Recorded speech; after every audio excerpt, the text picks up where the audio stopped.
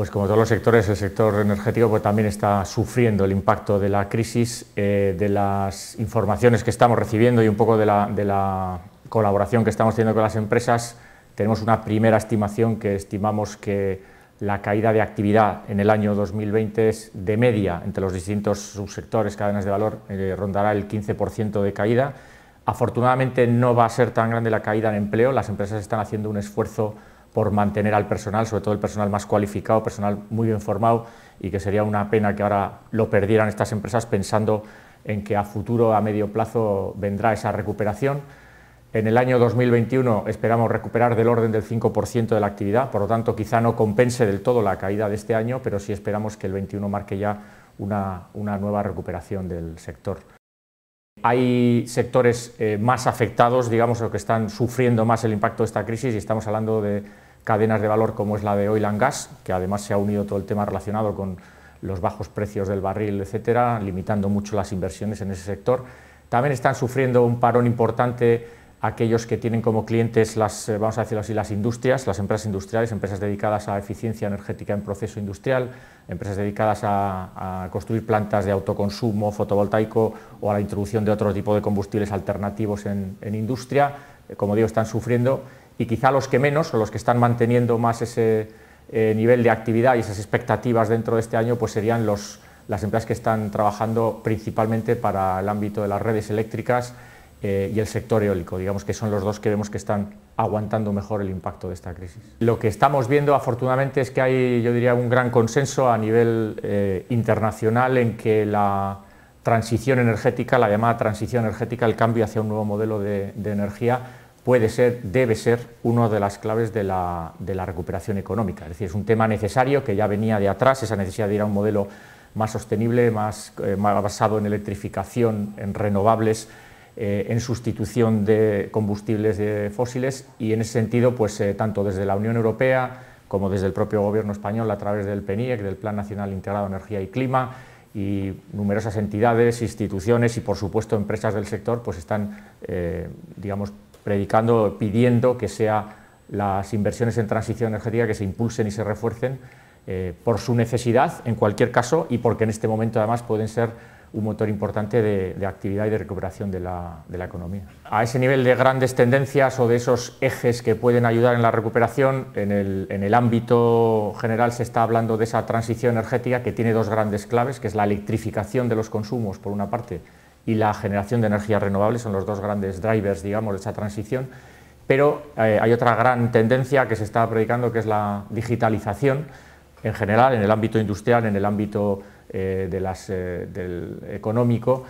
y hay digamos, la integración o la combinación de digitalización asociado a activos y a infraestructuras energéticas eh, puede ser también una clave muy interesante de, actividad económica y en el caso del País Vasco creemos además desde el clúster de energía que nuestro tejido industrial puede encontrar oportunidades muy interesantes en, ese ámbito, en esa integración de la digitalización con las inversiones en, transición energética. Por una parte que algunas de las más importantes oportunidades en esa transición energética, como decía, se van a dar en, ese ámbito de electrificación y ahí afortunadamente contamos con una cadena de valor muy potente en el ámbito de redes eléctricas, empresas fabricantes de bienes de equipo eléctrico, eh, ingenierías, bueno, propios los operadores, como es el caso de Iberdrola. Es decir, a partir de ahí eh, diríamos que esa es una oportunidad que puede ser muy relevante y además combinada con temas de digitalización. Estamos pensando en la digitalización no es solo una tecnología más que ayuda, sino que puede implicar en algunos casos cambios en los modelos de negocio de las empresas, digamos, una nueva forma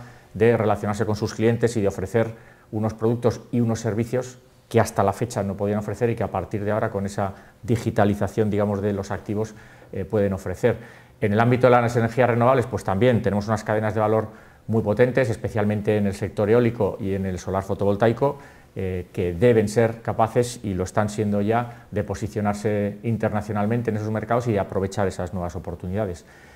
Y luego hay un tercer ámbito, más ligado quizá con el concepto de descarbonización de la industria, que tiene que ver con, las industrias grandes consumidoras. En Euskadi tenemos importantes empresas con altos consumos de energía y ahí el reto es descarbonizar ese consumo de energía, el hacer posible que cada vez más los procesos industriales consuman eh, menos energía, sean más eficientes, pero además que la energía que consuman cada vez vaya siendo menos eh, emisora de CO2. Eh, y bueno, ahí hay que hacer un esfuerzo, ahí hay un reto importante, por ejemplo, el anuncio de, esta semana de Petronor, de la doble inversión que, va a realizar en los próximos años, es un ejemplo de una empresa como es Petronor que va a aprovechar, que va a digamos, cambiar sus procesos y que aprovechando una serie de nuevas oportunidades, nuevas tecnologías, el caso del hidrógeno o el caso de conceptos de economía circular, va a ser capaz de descarbonizar digamos, los consumos eh, que ahora mismo está teniendo. Por lo tanto, esos retos son importantes, pero eh, como vemos, la industria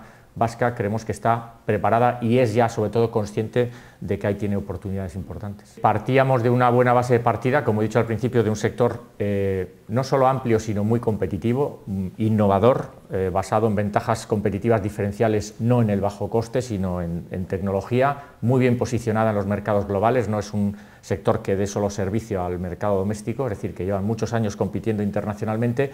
y esa sólida posición de partida nos hace pensar que vamos a aguantar esta crisis, que vamos a,